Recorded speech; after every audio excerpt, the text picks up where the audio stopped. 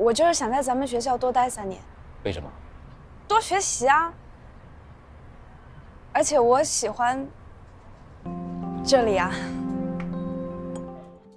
如果你想把一个人从心里抹掉，但是发现怎么样都忘不掉他，甚至于对未来所有的决定选择都在围绕着他，虽然对方好像什么都不懂，你也知道这样不会有什么结果，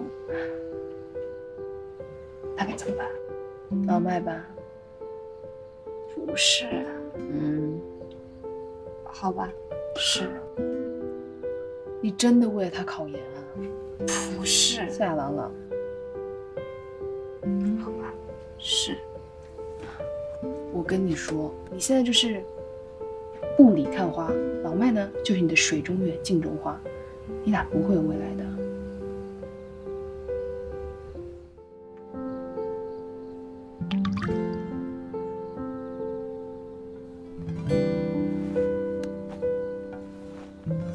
明天别忘了带伞，好像有雨。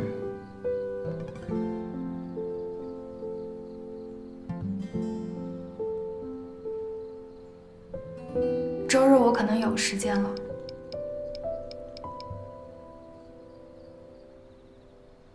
那咱们周日见。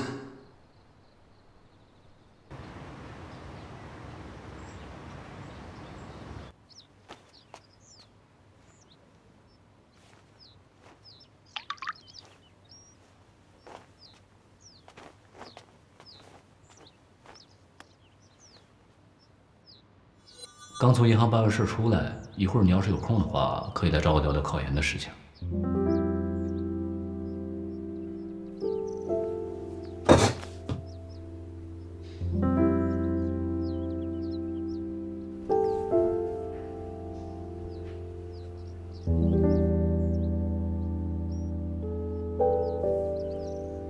喂，斌哥。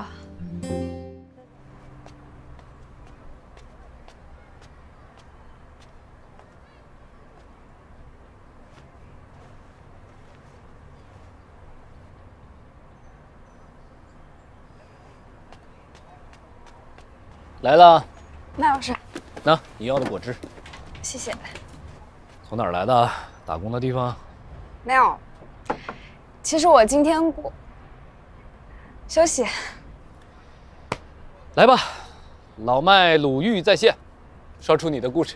我没有什么故事，我就是还不想离开学校，所以考虑考个研究生。我知道了，你想逃避社会。啊！你们现在年轻人压力大，有一种叫逃避式考研，就是把考研作为逃避社会的借口。不是，麦老师，我我给你的建议是这样啊，你想，你再读个三年五年，总得有一天你会走上社会，早晚有一天，你要独立开始自己的生活。麦老师，我考研不是为了逃避社会。我就是想在咱们学校多待三年，在咱们学校多待三年，为什么？多学习啊！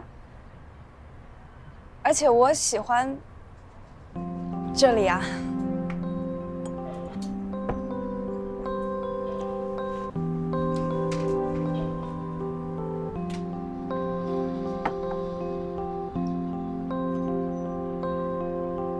朗朗，是这样。我觉得以你的能力，努努力的话，完全可以到更好的学校去深造。我真心的希望你冷静一些，清醒一些，不要被任何人或者任何事所影响，把眼光放得长远一些。那如果是你的话，你会怎么做选择？你不要问我嘛。我的选择是我的选择，你的是你的，你要学会自己做选择。